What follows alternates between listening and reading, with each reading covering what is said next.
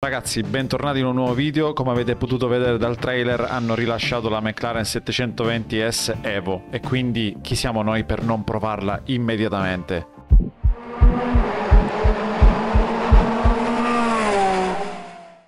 Eccola qua ragazzi, McLaren 720S GT3 Evo.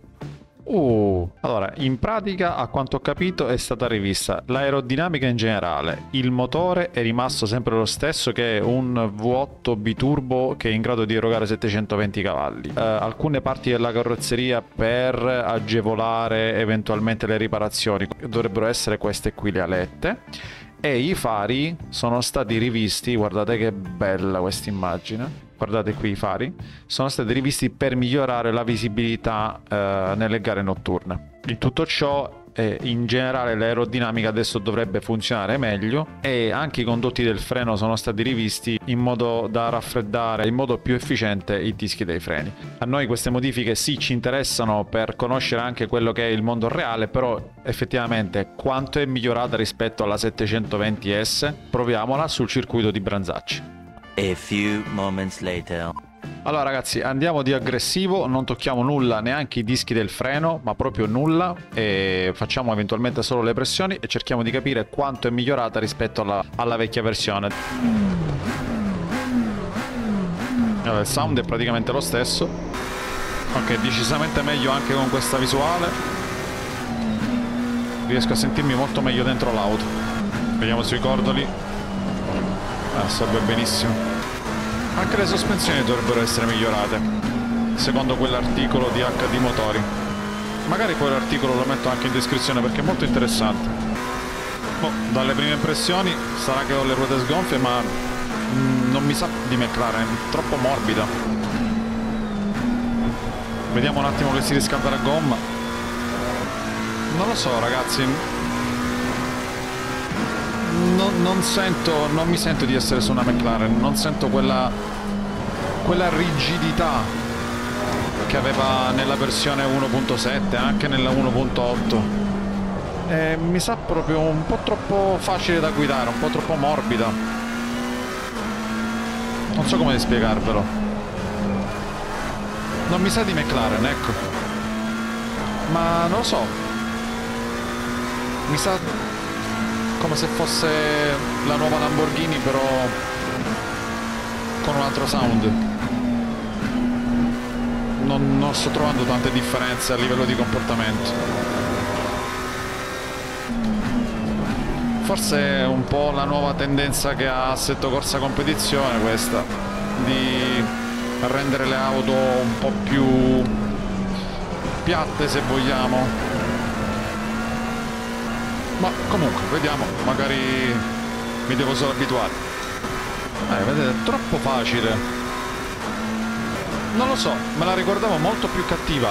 È molto facile passare sui cordoli molto facile farla inserire è molto facile farla ruotare.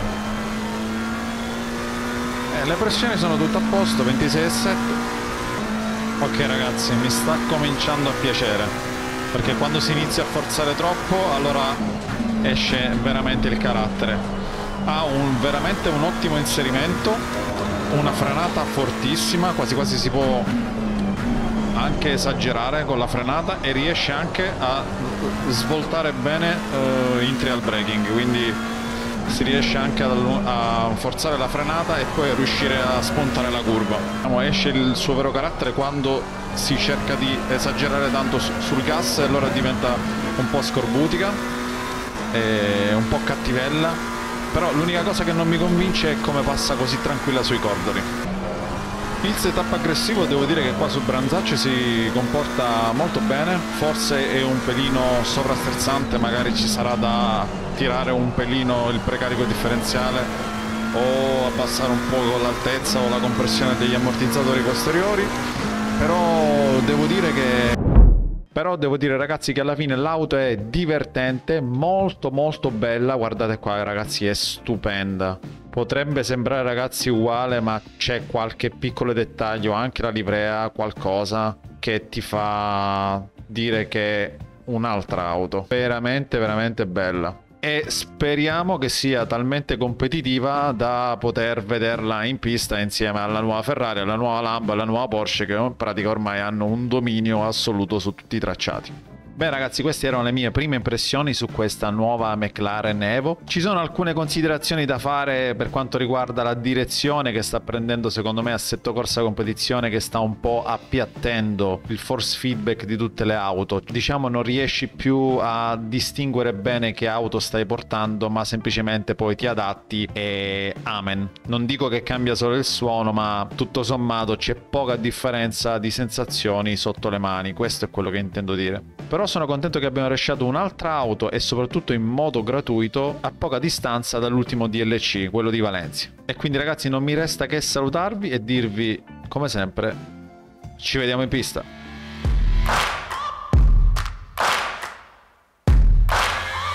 Searching for greatness in a sea of the dying and shameless uh, A sea of the aimless I don't wanna be one of the nameless I'ma wake up with the mind